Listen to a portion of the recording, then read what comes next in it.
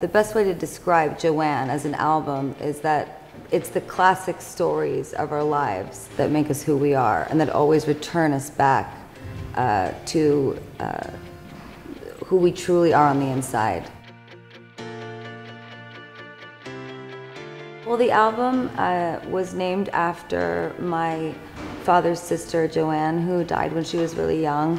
And he was uh, younger than her, and it was sort of the centerpiece of our family as I grew up. Each song really is autobiographical to me at this moment, and me really wanting or hoping that people will look into my eyes and see my past and see uh, where I'm going and help me to figure that out. And I wanted it to be about the experience that I had with the guys in the studio, as well as what I truly wish for, which is for kids to party with their cell phones off and be with each other. There's so many that have lost or that are about to lose something. So we should live every moment, you know, as if it's our last. And that's the spirit of Joanne.